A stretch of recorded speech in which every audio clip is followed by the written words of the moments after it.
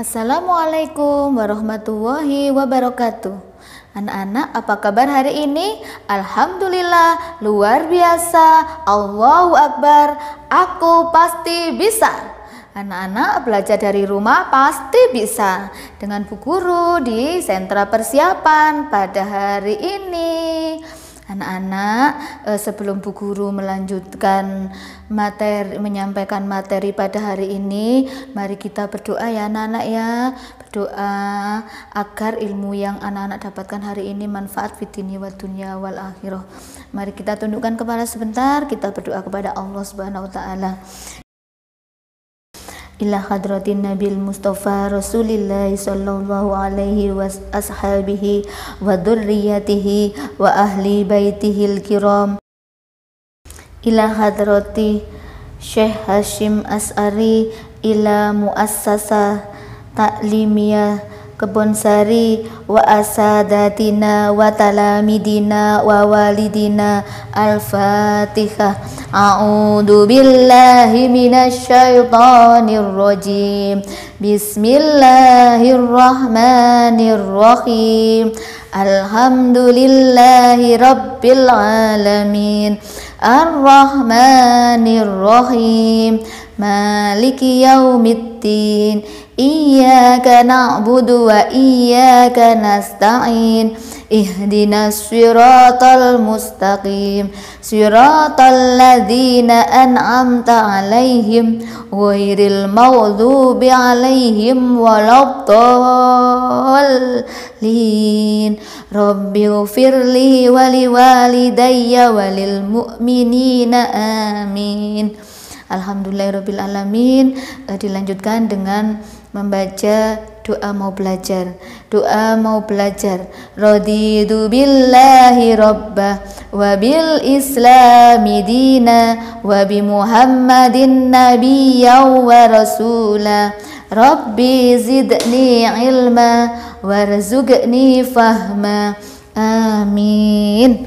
Anak-anak mari kita lanjutkan dengan pembacaan solawat nariyah Allahumma sholli sholatan kamilatan wa salim salaman taman ala sayyidina Muhammadin alladhi tanhalu bihil uqadu wa tanfariju bihil kurabu wa tuqadha bihil khawaiju wa tunalu bihir rawaibu wa husnul khawatimi wa yus tasqal ghamamu biwajhil karimi wa ala alihi wa suhbihi fi kulli lamhati wa nafasim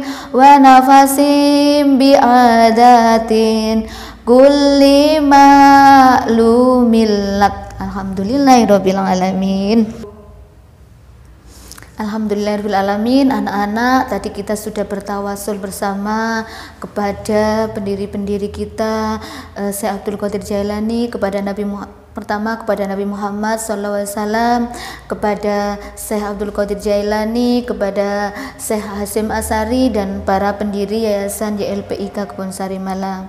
Uh, semoga doa kita diterima oleh Allah Subhanahu wa taala. Amin ya rabbal alamin. Anak-anak jangan lupa sebelum belajar agar ilmu kita manfaat dunia dan akhirat, uh, setiap hari dibiasakan untuk bertawasul dan berdoa, mau belajar serta membaca sholawat naria ya sayang ya. Anak pintar, anak hebat, anak soleh soleha pasti bisa. Anak-anak sekarang berjumpa lagi dengan Bu Fitri di sentra persiapan. Di sentra persiapan ini anak-anak akan belajar dengan materi yang pertama yaitu menghitung jumlah.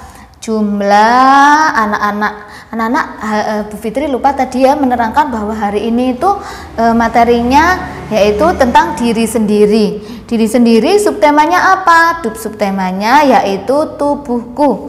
Ya anak-anak ya, tubuhku, tubuh anak-anak di dalam tubuhnya ini ada apa saja? Ada kepala, ada tangan, ada kaki, ada badan ya sayang ya. Itu materi hari ini yaitu tentang tubuhku. Tubuh yang sehat, terdapat jiwa yang kuat. Ayo anak-anak supaya tubuhnya sehat dan kuat. Kita rajin olahraga, makan makanan yang sehat. Ya sayang ya. Sekarang lanjut dengan materi yang pertama. Ini ada gambar anak-anak. Anak-anak akan pergi ke sekolah dengan membawa tas ya sayang ya.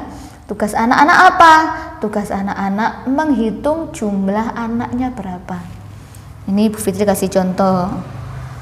Yang sebelah kanan jumlah anaknya kita hitung berapa? Satu, dua, tiga, empat, lima. Jumlah anaknya lima, kita tulis angka lima di sini. Terus yang sebelah kiri kita hitung jumlah anaknya berapa? Satu, dua, tiga. Jumlah anaknya ada di tiga, kita tulis tiga di sini. 5 ditambah dengan 3 sama dengan berapa? Coba dihitung sama-sama. 1, 2, 3, 4, 5, 6, 7, 8. 5 ditambah 3 sama dengan 8. Jadi angka 8 dilingkari seperti ini. Dilingkari seperti ini. Dan yang kedua juga sama, jumlah anak perempuan. Sebelah kanan ada berapa? 1, 2, 3, 4, 5, 6. Ada 6. Dikasih angka 6. Di sebelahnya lagi kita hitung jumlahnya ada berapa? 1, 2, 3, 4, 5, 6. Kita kasih angka 6. 6 ditambah dengan 6 sama dengan berapa sayang? Dihitung ya. 1, 2, 3, 4, 5, 6, 7, 8, 9, 10, 11, 12. 6 ditambah 6 sama dengan 12. Jadi yang dilingkari angka 2 angka 12. Ini tugas anak-anak di sentra persiapan ada di LKS yaitu menghitung jumlah Kemudian jumlahnya hasilnya dilingkari. Selamat mengerjakan sayang. Anak-anak, kembali lagi dengan Bu Fitri di sentra persiapan. Sentra persiapan dengan materi yang kedua ada di LKS halaman 13. Ada di LKS halaman 13 ya anak-anak ya. Tugasnya anak-anak apa di halaman 13 ini? Tugas anak-anak yaitu melengkapi kata suku kata yang kurang di sini. Tadi kan Bu Fitri sudah bilang ya, materi hari ini yaitu anggota tubuh.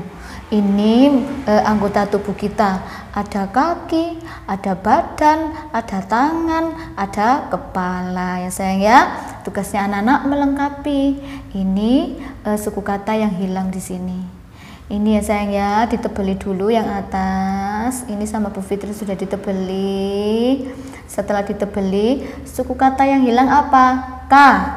Suku kata yang hilang ki. Kaki.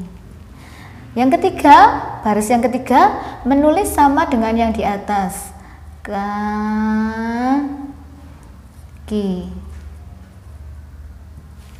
Kaki. Setelah e, semua sudah dikerjakan kaki, baru anak-anak dihubungkan dengan garisnya. Kaki ke mana ya kakinya? Jalannya ya. Garisnya kaki ya ke mana ya? Ke sini. Ini kaki ya sayang ya. Sekarang yang kedua. Yang kedua ditebali dulu garis putus-putusnya. Ke pala setelah ditebali garis putus-putusnya. Eh, baris yang kedua kita cari. Yang hilang itu huruf apa saja? Ke sudah ada. Yang hilang tinggal pa. Sama la. Kepala. Baris yang ketiga tugasnya apa? Nulis seperti yang di atas. Ke pa la seperti ini. Kalau sudah selesai ditulis semuanya baris pertama kedua dan ketiga baru anak-anak dihubungkan. Eh, dihubungkan ke gambar kepalanya di sini. itu eh, yang ketiga juga sama ya sayang ya.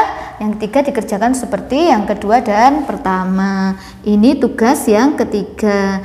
Terus setelah semua selesai dihubungkan setelah semua selesai ditebali titik-titik yang kosong diisi semuanya baru anak-anak tugasnya apa? Mewarnai ini e, diwarnai yang bagus sama Bu Fitri rambutnya diwarnai hitam jaketnya diwarnai biru celananya nanti diwarnai apa sesuai dengan selera anak-anak. Anak-anak pintar anak-anak hebat tugas yang kedua.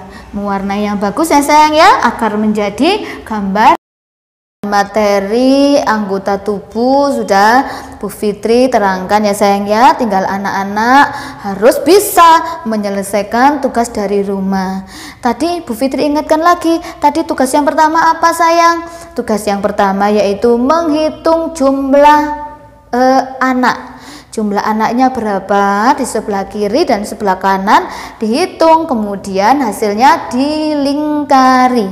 Itu tugas yang pertama Tugas yang kedua apa sayang? Tugas yang kedua menebali tulisan anggota tubuh kita.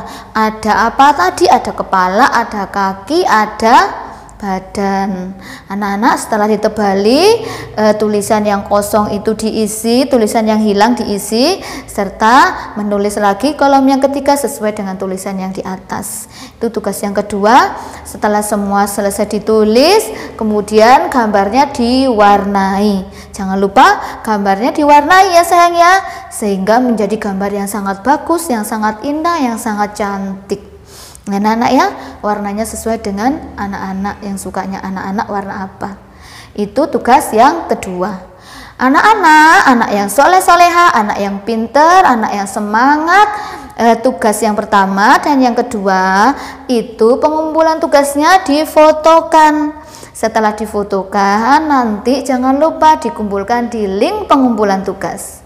Link pengumpulan tugas sama Bu Fitri ditunggu sampai pukul 12 Jangan sampai melebihi pukul 12 ya sayang ya. Anak-anak pasti bisa. Karena kemarin-kemarin sudah Bu Fitri periksa, sudah Bu Fitri lihat anak-anak sudah pinter. Ngumpulkannya ke ada yang terlambat.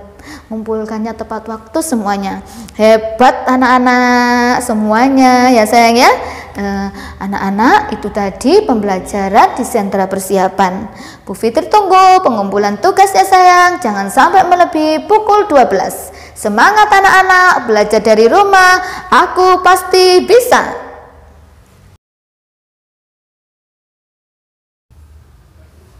Alhamdulillahirrabbilalamin. Demikian tadi pembelajaran di sentra persiapan dengan Bu Fitri.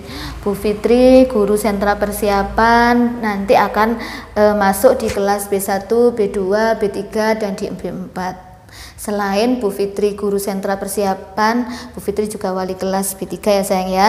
Tapi untuk materi ini, materi tentang sentra persiapan, nanti Bu Fitri akan masuk ke kelasnya anak-anak semuanya. Anak-anak agar ilmu yang anak-anak peroleh hari ini manfaat, barokah dunia dan akhirat. Mari kita tutup pembelajaran ini dengan membaca surat Al-Asr. Mari kita tundukkan kepala sebentar ya sayang ya. Kita membaca surat Al-Asr uh, dibaca surat Al-Asr. A'udzu billahi minasyaitonir rajim. Bismillahirrahmanirrahim. Wal asr. Innal insana lafi khusr illa alladzina amanu wa amilus solihati wa tawasaw bil haqqi wa tawasaw bis sabr Sadaqallahul azim. Doa keluar rumah. Bismillahirrahmanirrahim. Allah la haula wala quwata illa billahil aliyyil azim. Artinya, dengan nama Allah aku berserah diri kepadanya dan tiada daya upaya melainkan dengan pertolongan Allah. Amin ya rabbal alamin. Alhamdulillahirrabbilalamin Pembelajaran hari Senin di sentra persiapan sudah selesai. Assalamualaikum warahmatullahi wabarakatuh